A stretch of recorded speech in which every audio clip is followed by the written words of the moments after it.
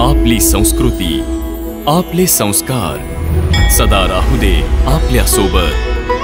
भारताच्या महान ग्रंथांचे आणि काव्यांचे संपूर्ण संकलन. सबस्क्राईब करा तिलक. असं वाटतं माझे दोन भाग व्हावेत. एक भाग इथेच आपल्या चरणाशी पडून राहावा आणि दुसरा नानाजींच्या आज्ञेचं पालन करण्यासाठी ननिहालला जावा. भैया या चरणांना सोडून तर स्वर्गसुद्धा सुखाचा वाटणार नाही. तुझ्याशिवाय आम्हाला तरी कसं बरं वाटेल?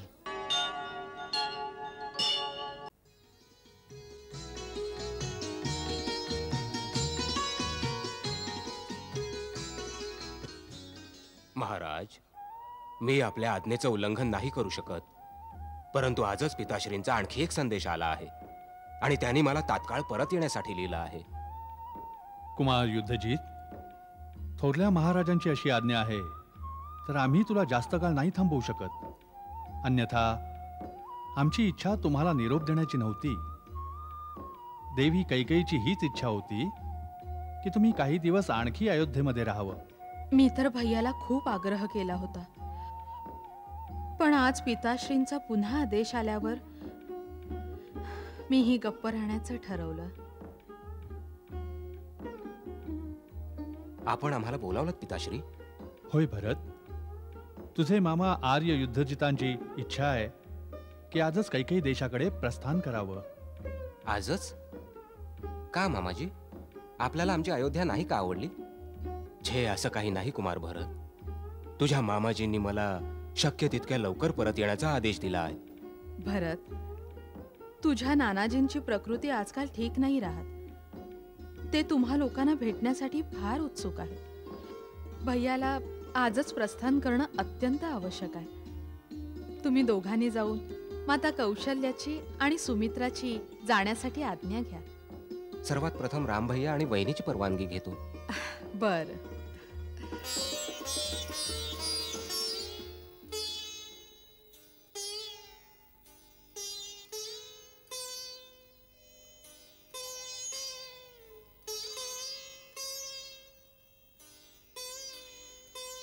आपला निरोप घेण्यासाठी आलोय भैया.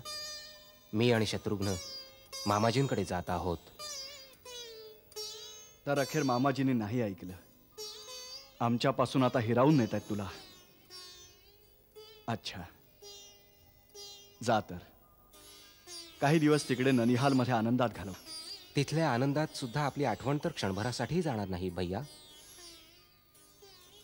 असं वाटतं माझे दोन भाग व्हावेत. एक भाग इथेच आपल्या चरणाशी पडून राहावा. आणि दुसरा नानाजींच्या आज्ञेचं पालन करण्यासाठी ननिहालला जावा. भैया या चरणांना सोडून तर स्वर्गसुद्धा सुखाचा वाटणार नाही. तुझ्याशिवाय आम्हाला तरी कसं बरं वाटेल? परंतु नानाजींचा मान राखणंही आवश्यक आहे ना? ठाऊक आहे भरत.